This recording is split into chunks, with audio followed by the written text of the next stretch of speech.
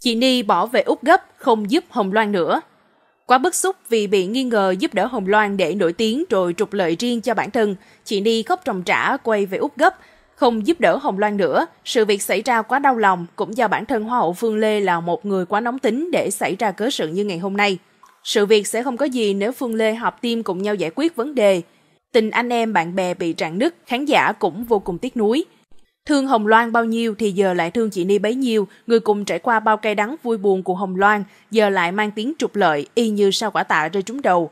Hồng Loan cũng đã khóc rất nhiều xin chị Ni đừng bỏ Loan giữa đường, dù mọi người có nói gì đi nữa thì Hồng Loan vẫn luôn là người hiểu chị và thương chị. Nghe được những lời tâm tình từ Hồng Loan, chị Ni như được tiếp thêm sức mạnh để chiến đấu cùng Hồng Loan đến cùng. Mới đây trên sóng livestream cùng khán giả, chị Ni, người bạn kề vai sát cánh cùng con gái cố nghệ sĩ tú Vũ Linh đã tiết lộ nỗi sợ hãi của Hồng Loan dù sống tại nhà của ba mình. Chuyện là khi dọn phòng cô Sáu là nghệ sĩ Hồng Nhung và em họ là nghệ sĩ Hồng Phượng, Hồng Loan đã phải gọi chị Ni sang chứng kiến vì lo lắng sẽ bị vu vạ nhiều điều không hay khiến bản thân phải bị kiện tụng. Bản thân của Hồng Loan kể, Ni cũng xin lỗi luôn là Phượng, nó nói viết vi bằng gì Ni chịu, nó đem USB nghề bé Loan nói xuống dọn phòng cô Sáu, tôi kêu xuống với Loan, nghĩa là dọn thôi Loan cũng không dám dọn. Ít phút trước, trên trang cá nhân của Hồng Loan cũng có chia sẻ gây chú ý.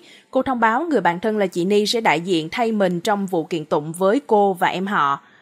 Con gái Vũ Linh khẳng định sẽ làm đúng pháp luật và làm đến cùng với những ai vu vạ, kể cả chuyện sao kê từ thiện trong đám tang ba mình. Hồng Loan viết, con chào cô chú bác anh chị, sáng nay con vừa phải lên công an giải quyết việc con, bị cô Sáu và những người từng là người thân lại đi tố cáo con cũng lên làm việc trên Ủy ban Nhân dân phường và tòa án. Sự việc bây giờ như giọt nước tràn ly. Con quyết định từ nay sẽ giải quyết mọi việc bằng quy định pháp luật, nên chính thức gửi thông báo này đến quý cô chú bác anh chị đã yêu thương. Theo thư ngõ đính kèm, con chính thức thông báo con đã nhờ chị Ni đại diện cho con cùng vượt qua sóng gió này. Mọi thông tin diễn biến liên quan từ nay, phía con sẽ chủ động cung cấp cho các cơ quan báo chí chính thống để quý cô chú bác anh chị tiện theo dõi.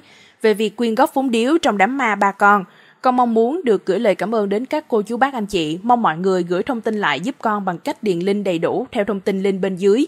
Gia đình con cảm ơn đại gia đình yêu thương rất nhiều.